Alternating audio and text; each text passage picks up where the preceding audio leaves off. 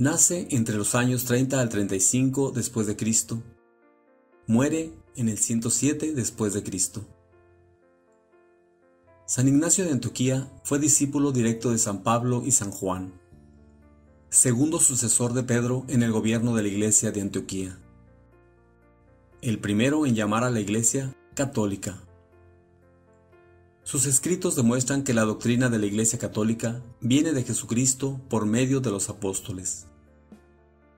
Esta doctrina incluye la Eucaristía, la jerarquía y la obediencia de los obispos, la presidencia de la Iglesia de Roma, la virginidad de María y el don de la virginidad, el privilegio que es morir mártir de Cristo. Condenado a morir devorado por las fieras, fue trasladado a Roma y allí recibió la corona de su glorioso martirio el año 107 en tiempos del emperador Trajano. En su viaje a Roma, escribió siete cartas dirigidas a varias iglesias en las que trata sabia y eruditamente de Cristo, de la constitución de la iglesia y de la vida cristiana. La palabra Ignacio viene de ignis, fuego. El corazón de San Ignacio era un fuego ardiente de amor por Cristo. Decía que Cristo está en el pecho de los cristianos. De sobrenombre Teoporus, portador de Dios. Fue ilustre testigo de Cristo por su palabra y por su martirio. San Ignacio de Antioquía se le llama Padre Apostólico porque habiendo nacido en Antioquía en el siglo I, fue discípulo de los apóstoles San Pablo y San Juan. San Ignacio de Antioquía fue el tercer obispo de Antioquía, Siria, siendo San Pedro y San Evodio los dos primeros. San Juan Crisóstomo escribe que San Ignacio fue consagrado obispo de manos de los apóstoles Pedro y Pablo. Según Teodoret, Ignacio fue asignado obispo de Antioquía por San Pedro. Antioquía era la tercera ciudad más importante del imperio después de Roma y Alejandría. Había en Antioquía muchos cristianos de procedencia judía que huyeron de la destrucción de Jerusalén ocurrida en el año 70. El emperador Trajano al principio respetó a los cristianos, pero por gratitud a sus dioses, tras su victoria sobre los dacios y escitas, comenzó a perseguir a quienes no los adoraban. Hay una relación legendaria sobre el arresto de San Ignacio y su entrevista personal con el emperador. Sin embargo, desde época muy remota, nos llega el interrogatorio al que fue sometido. ¿Quién eres tú, espíritu malvado, que osas desobedecer mis órdenes e incitas a otros a su perdición? Nadie llama a Teóforo espíritu malvado, respondió el santo. ¿Quién es Teóforo? el que lleva a Cristo dentro de sí. ¿Quiere eso decir que nosotros no llevamos dentro a los dioses que nos ayudan contra nuestros enemigos? Preguntó el emperador. Te equivocas cuando llamas dioses a los que no son sino diablos, replicó Ignacio. Hay un solo Dios que hizo el cielo y la tierra y todas las cosas, y un solo Jesucristo, en cuyo reino deseo ardientemente ser admitido. ¿Te refieres al que fue crucificado bajo Poncio Pilato? Sí, a aquel que con su muerte crucificó el pecado y a su autor, y que proclamó que toda malicia diabólica ha de ser hollada por quienes lo llevan en el corazón. Entonces, ¿tú llevas a Cristo dentro de ti? Sí, porque está escrito, viviré con ellos y caminaré con ellos.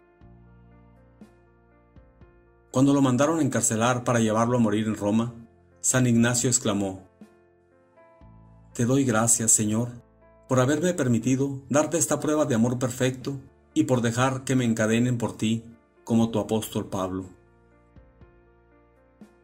Enseñanzas Los escritos del obispo San Ignacio de Antioquía son de suma importancia porque demuestran la catolicidad de la doctrina desde tiempos apostólicos sus cartas constituyen un testimonio de su amor apasionado por Cristo, su profundidad y claridad de pensamiento teológico y profunda humildad. San Ignacio manifiesta absoluta certeza de que su inminente martirio por Cristo es un privilegio, por lo que no quiere que nadie lo obstruya. El parto virginal de María. Es el primer escritor fuera del Nuevo Testamento en escribir sobre esta verdad. Y al príncipe de este mundo se le ocultó la virginidad de María y su parto, y también la muerte del Señor. Carta a los Efesios. Cristo humano y divino. Como San Juan, San Ignacio nos muestra que Cristo es humano y divino, Hijo de María e Hijo de Dios, primero pasible, después impasible, Jesucristo nuestro Señor.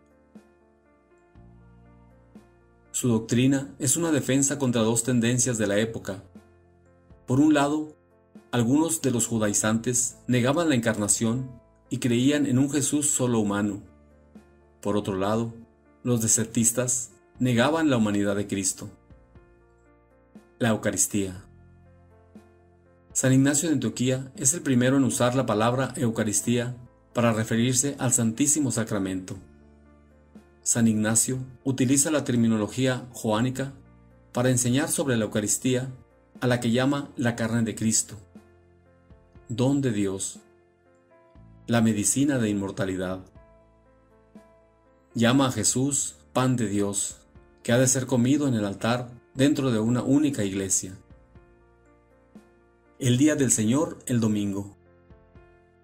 Los que vivían según el orden de cosas antiguo han pasado a la nueva esperanza, no observando hoy el sábado, sino el día del Señor, en el que nuestra vida es bendecida por Él y por su muerte. La Iglesia es una institución divina cuyo fin es la salvación de las almas. Quienes se separan de ella se separan de Dios. Debe permanecer en unidad. La unidad es expresión del amor.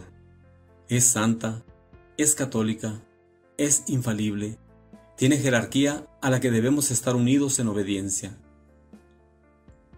Los tres niveles del sacramento del orden el episcopado siendo superior, el presbiterio, sacerdotes y por último el diaconado. La primacía del obispo de Roma.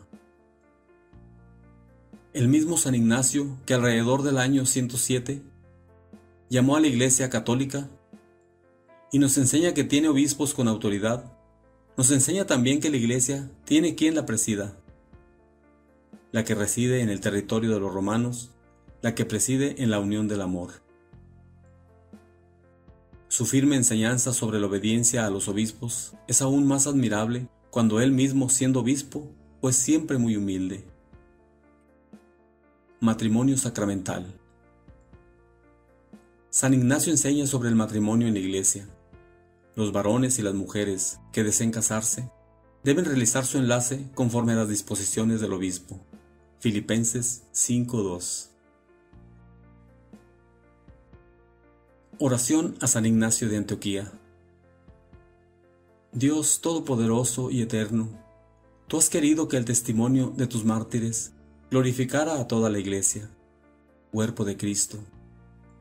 Concédenos que así como el martirio que ahora conmemoramos fue para San Ignacio de Antioquía causa de gloria eterna, nos merezca también a nosotros tu protección constante. Por nuestro Señor Jesucristo, tu Hijo, que vive y reina contigo en la unidad del Espíritu Santo, y es Dios por los siglos de los siglos. Amén. Dios te bendiga.